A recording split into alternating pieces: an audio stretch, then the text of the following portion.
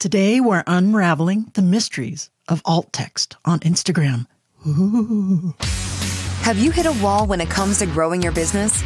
Then welcome to Wingnut Social, helping home professionals, industry influencers, and creatives accelerate their business through an improved social media presence by translating digital influence into physical success. Whether your focus is interior design, travel and tourism, or hospitality, this is your social media tightly fastened. Now, welcome the hosts of Wingnut Social, Darla Powell and Natalie Graff.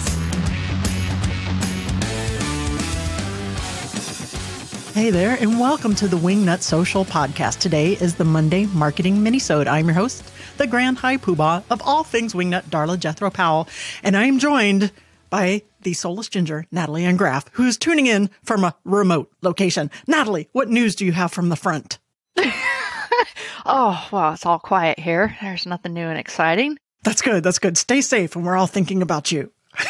oh Lord, you are just impossible, Darla. So of course your schedule today prohibited you from recording live and in the studio. We will not disclose where you are, but let's suffice it to say that you are here today like I promised last week. Yes, I am here. I am here, alive and well. Today we're talking about alt text, specifically on Instagram. Are you familiar with what that is?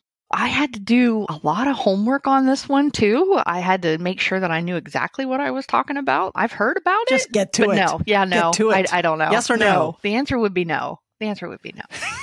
that was a one word answer. so, alt text is a little description that you are able to add to your photograph on Instagram that is a description of actually what is in the image. For example, if you're posting a living room, you would say living room with sofa and window treatments and blue or what have you. And really what this does on Instagram is allows people with visual impairments when they're scrolling through to get a description of what it is that they're actually looking at to help them if they're impaired in their vision or just to describe it to them if they're absolutely can't actually see it, but they do want to scroll through and see what's going on in the Instagram world and in your design firm. Alt text actually is not a new feature. It was actually released at the end of 2018. So it's not totally new, but we are going over this again because it does give you that option of you can customize your alt text as well. You can, but Instagram will do it for you, regardless of whether or not you enter in alt text. So, and they're actually pretty good. They're pretty accurate in their descriptions. So, if you want to get in there and dial it in and make sure it's absolutely 100% accurate, you can. But here's some things that alt text doesn't do that you might be confusing it with the alt text on your photos on your website. Okay. So, before I get into that, when you put alt text, which is alternative text, and you describe photos on your actual website, it is discoverable in SEO. It is discoverable discoverable in a Google search or Bing search if anyone's using that. is it? I'm Bing? I guess it is. So if someone's looking for Miami living room, leather sofa, and that's how you have your photograph for that project described in the alt text, they're more than likely to find that photo. So people are confused and thinking, okay, alt text on Instagram. This is going to be discoverable. I'm going to get found on SEO, on Google. They're really going to find my picture. And I'm sorry to say, I'm very sad to announce that no, it does not do that. But in your alt text box, you need to be specific on your description. Don't make it too long. What's a good length? Mm, try not to exceed 100 characters and avoid using the terms image or photo because alt images already alert the user that the object is in the photo, so no need to waste time with letters or characters on that.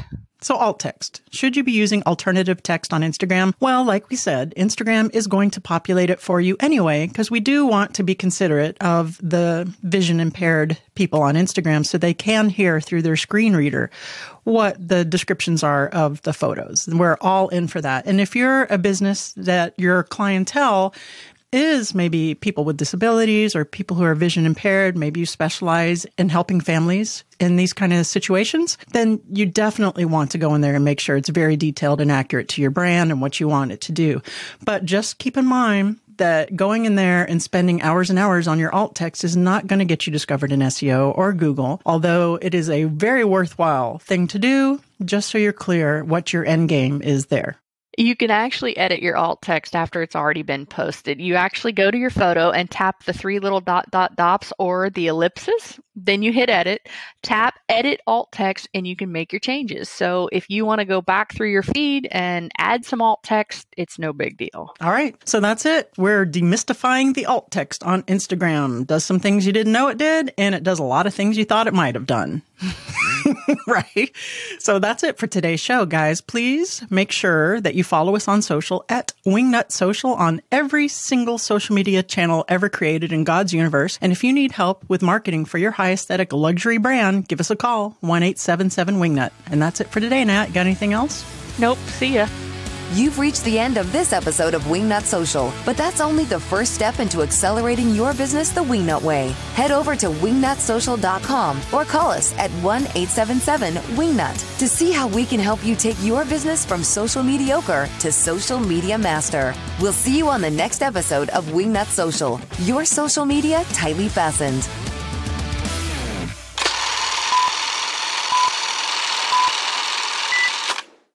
What's an ellipsis now? Shut up, Darla.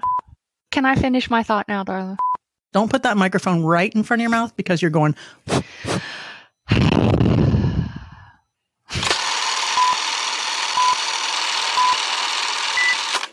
Good boy, Mango.